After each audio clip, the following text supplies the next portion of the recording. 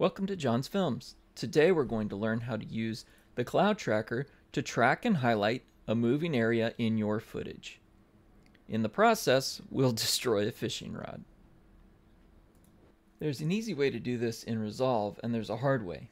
Believe it or not, the hard way is to go into your Color tab, choose frame you'd like to edit, get down to it in your keyframes panel on the right, choose your power windows on the left, pick a defining region through a power window. I'm going to highlight my fishing pole.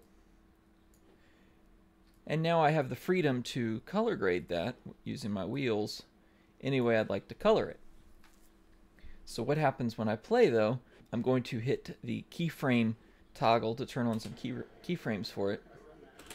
You can see that it starts to float off. So what am I going to do? Well, I'm going to keyframe the location by going back into my power window and using the drag, there we go, drag it into place on top of my fishing pole.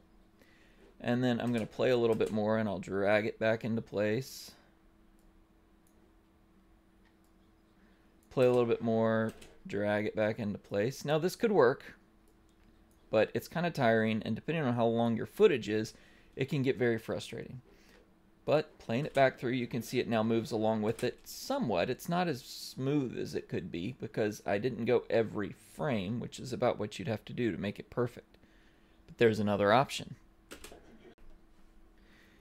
With the other option, I'm going to remove the existing keyframes here by deleting them.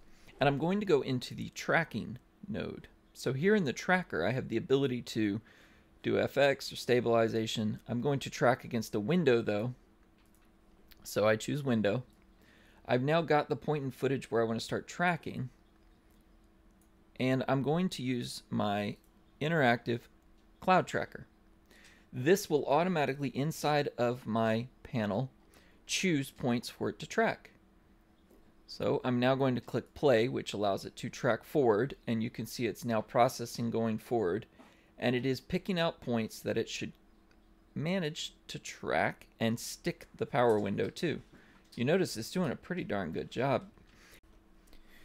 Now that I've got that tracked, the last thing for me to do is to keyframe the output so that I only see the glow when it's being tracked and when I want it to show on the frame.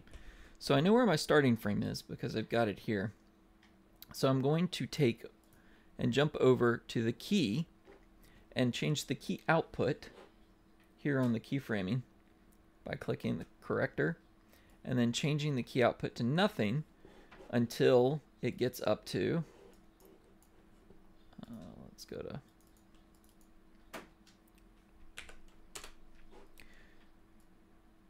so I want it to be zero here and I want it to jump to one right there. So I'm going to set it to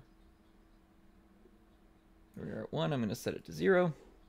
And now we've got a keyframe that sets it so that it's at 0 opacity for that node, which has that corrector in it, until we get to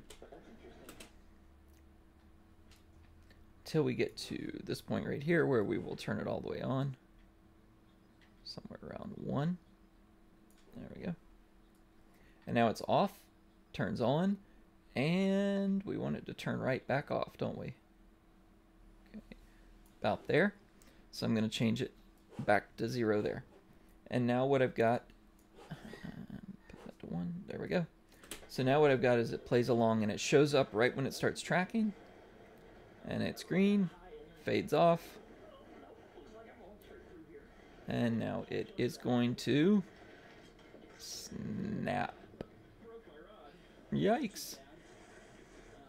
Three different pieces. So that's how you would set up tracking with the Cloud Tracker to highlight an area on your screen in DaVinci Resolve. Thanks for watching.